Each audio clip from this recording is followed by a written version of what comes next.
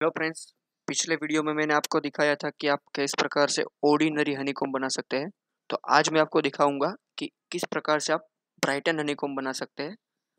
तो देखते जाइए ब्राइटन हनीकॉम बनाने के लिए कुछ रूल्स है। आप ब्राइटन हनीकॉम का रिपीट चार के मल्टीपल में ही ले ले सकते हैं। जैसे कि चार, आठ, सोलह, बारह, बीस, चौबीस, उस प्रकार से ही ले सकते हैं। तो मैंने अभी यहाँ पे सोलह बाई सोलह का रिपीटेशन का बॉक्स लिया है। तो देखिए अभी आप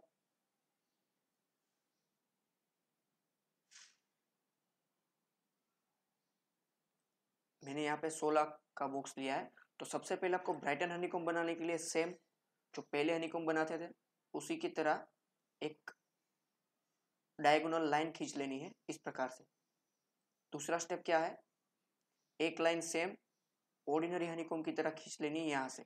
एक छोड़ के यहाँ से और एक छोड़ के यहाँ से। अब इसमें नया क्या है? एक आपको सेम इसी प्रकार की लाइन दूसरी यहाँ से भी खींचनी है। इसके एग्जैक्ट पैरेलल इस प्रकार से कुछ। अब देखिए, अभी आपने रिपीटेशन कितने नंबर का लिया था? सोलह का।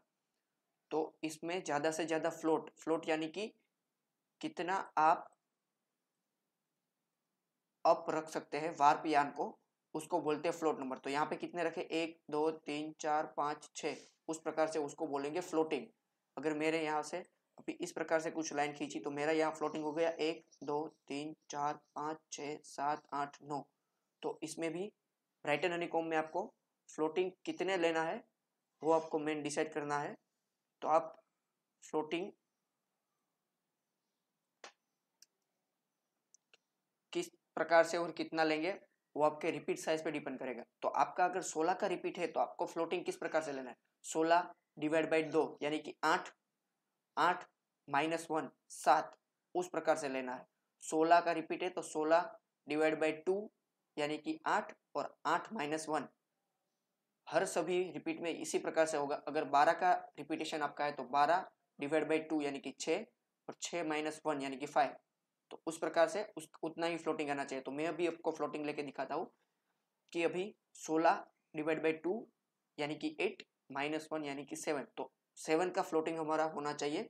तो चलो मैं फ्लोटिंग करके दिखाता हूँ। तो आपको फ्लोटिंग किस प्रकार से लेना है? देखो, ये अगर आपकी एक लाइन हो गई है तो मुझे सात का फ्लोटिंग लेना है। तो सात का फ्लोटिंग कहाँ से हो सकता है? देखिए, यहाँ से एक, दो, तीन, चार, पाँच, छ। तो ये छः नहीं हो पाएगा। इस लाइन को आपको गिनती कर लेना है। तो यहाँ से देखिए, एक, दो चार, पाँच छ और सात। मैक्सिमम फ्लोटिंग सात का यहीं से ही आ सकता है। उसके अलावा कहीं से भी नहीं आ सकता। अब क्या आपको करना है? यहाँ से क्रॉस में लेते जाना है, इस प्रकार से। यहाँ पे कनेक्ट हो गया, बाकी का बीच का भर देना सेम टू सेम यहाँ से भी करना है ऐसा इस प्रकार से यहाँ पे बन गया। सेम टू सेम इसी प्रकार से इस साइड भी सात का फ्लोटिंग जहाँ पे आता है, वहाँ रुकना है आपको। तो देखिए यहाँ पे एक, दो, तीन चार, पाँच छ और सात। सात का फ्लोटिंग यहाँ पे आ रहा है। सेम इसी प्रकार से यहाँ पे भी आ सकता है। एक, दो, तीन, चार, पाँच छः और सात। तो मैं, अगर मैंने यहाँ से चालू किया है तो मैं यहाँ पे नहीं लूँगा, इसके नीचे से लूँगा यहाँ से। दो, तीन, चार, पाँच छ सात। क्यों? क्योंकि मुझे इस लाइन को साथ में रख के फ्लोटिंग लेना है। मुझे इस लाइन से कुछ भी लेना देना नहीं रखना है। इस लाइन के साथ आपको फ्लोटिंग नहीं लेना है। मुझे इसी लाइन के साथ फ्लोटिंग लेना है। और इस साइड में इस लाइन के साथ और इस साइड में इस लाइन के साथ। तो मैंने यहाँ से सात का फ्लोटिंग ले लिया, अब यहाँ से सेम इस प्रकार से। तो मैंने सारा का सारा फिलअप कर दिया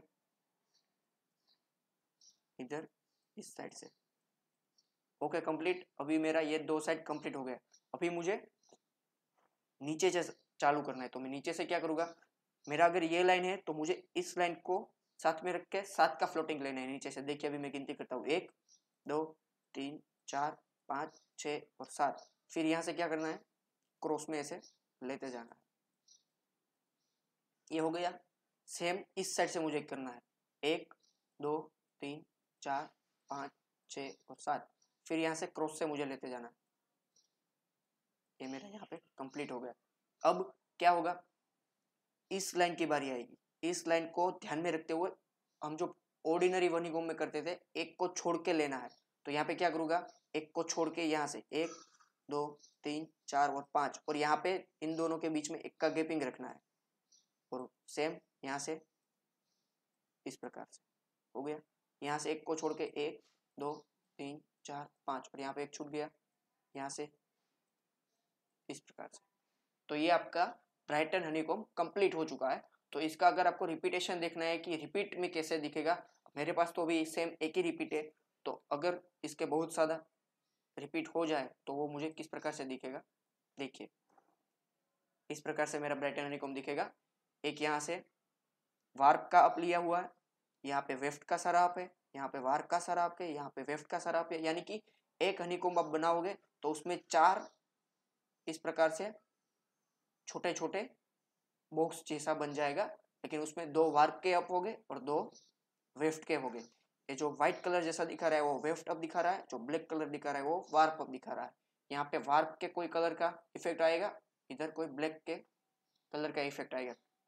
अगर आपको इसको कलरफुल में देखना है तो मैं आपको दिखा सकता हूँ कि अगर मैंने यहाँ से कोई कलर सिलेक्ट कर लिया, वार्प का कलर मैंने रेड रख लिया और वेफ्ट का कलर मैंने ब्लू रख लिया तो कुछ इस प्रकार से आपका रिपीटेशन दिखेगा कपड़े के अंदर।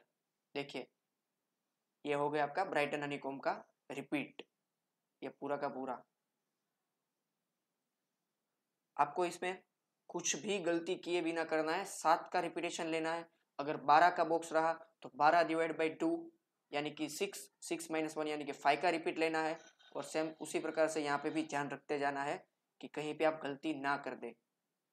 धन्यवाद। आपने मेरा वीडियो देखा अच्छा लगा हो तो लाइक करिए, मेरे चैनल को सब्सक्राइब करिए और आपको अगर इसी प्रकार की वीडियो चाहिए तो मेरे कमेंट बॉक्स में जाके कोई भी व्यू के बारे में कमेंट करें तो मैं आपके लिए नए व्यू लाता रहूँगा। थैंक यू देखने के लिए।